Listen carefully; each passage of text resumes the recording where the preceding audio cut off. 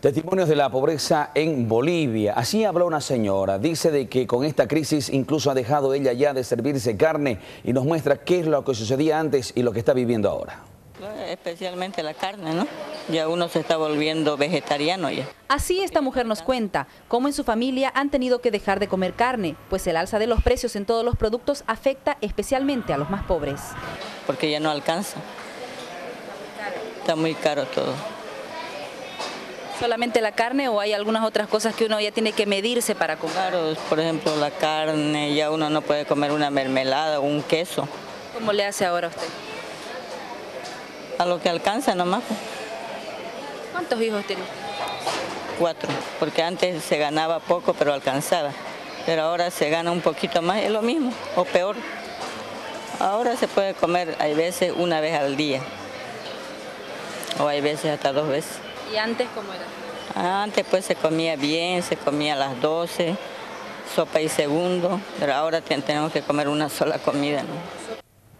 La FAO es la Organización de las Naciones Unidas para la Agricultura y la Alimentación y han presentado un informe mundial sobre el hambre. En Bolivia los agropecuarios creen que ha bajado el poder adquisitivo entre las personas que viven en este país y por eso hay más hambre. Creen que se viene un 2009 bastante difícil.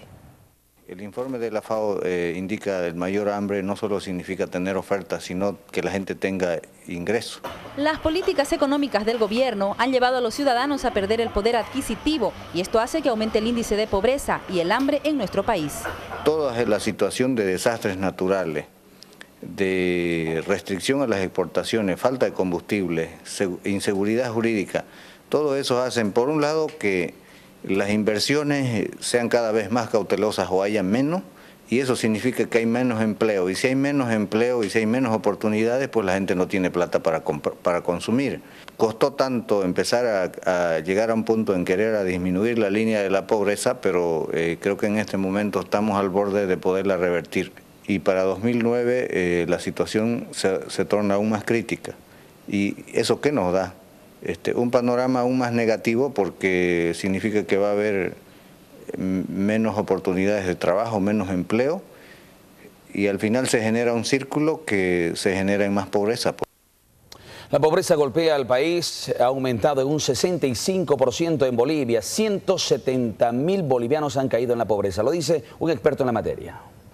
Pero en los últimos años la pobreza ha crecido al 65% por nada más que este proceso inflacionario que se ha desatado en el 2007 y que continúa este año, se ha hecho de que 170 mil personas caigan otra vez bajo el umbral, de la pobreza. Se viene el 2009 con un panorama difícil para Bolivia. Según el economista Teófilo Caballero, Bolivia ha aumentado el número de pobres. Por tanto, no es extraño que en el informe de la FAO nuestro país aparezca en la lista de países donde ha aumentado el hambre.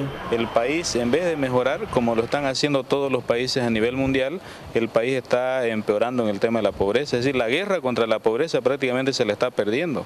A esto se suma la crisis mundial que también afectará a Bolivia. Nos va a afectar por el lado, por ejemplo, de la producción, por el lado de las exportaciones, por el lado de las remesas y porque nosotros tenemos más de dos millones y medio de personas que se han ido a trabajar afuera precisamente para huirle a la pobreza, es decir, para tener mejores ingresos, mejores salarios. Perspectivas para mejorar en términos de pobreza en este país, hoy por hoy, desgraciadamente no existen.